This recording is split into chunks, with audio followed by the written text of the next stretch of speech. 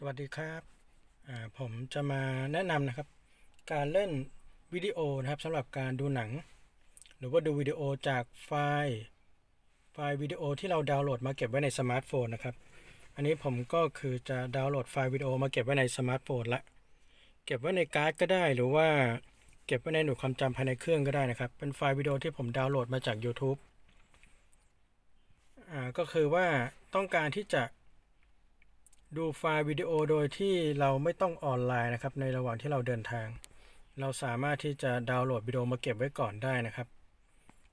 หลังจากนั้นเราก็เชื่อมต่อสมาร์ทโฟนกับ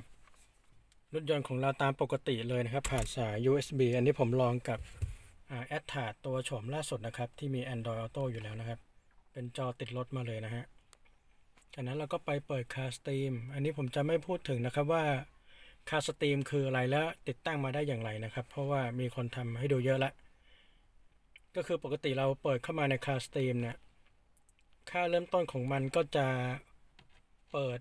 YouTube นะครับ ก็คือจะอาศัย อาศัยอินเทอร์เน็ตจากสมาร์ทโฟนของเรา แต่ทีนี้เนี่ย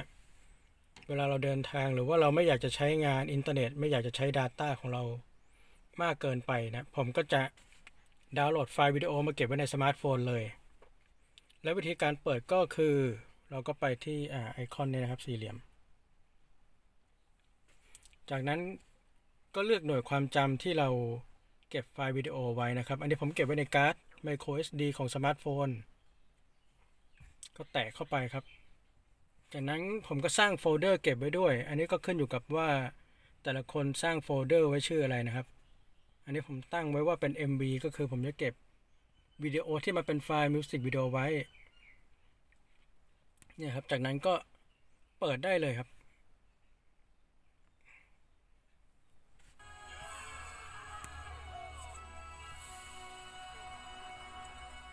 เราสามารถกดเลื่อนได้ด้วยนะครับ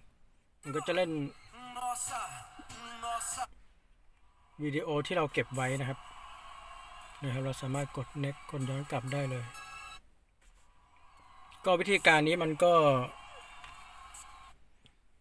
วิธีการนี้มันก็เหมาะสำหรับคนที่ไม่ได้มีซิมอินเทอร์เน็ตนะครับ หรือว่าต้องการที่จะประหยัด Data การใช้งานอินเทอร์เน็ตของเราจากสมาร์ทโฟน เราสามารถที่จะดาวน์โหลดวิดีโอ เก็บมาไว้ในสมาร์ทโฟนก่อนได้นะครับ แล้วก็ถ้าเป็นเป็นไฟล์วิดีโอขนาดใหญ่อย่างเป็นภาพยนตร์ทั้งเรื่องเนี่ย ผมยังไม่ได้ลองนะ แต่คิดว่าไม่น่าจะมีปัญหาน่าจะเล่นได้เหมือนกันอ๋อแล้วก็ขณะ ขับรถก็เล่นได้นะครับ ผมลองแล้วนะครับ โอเคครับ ไปก่อนนะครับ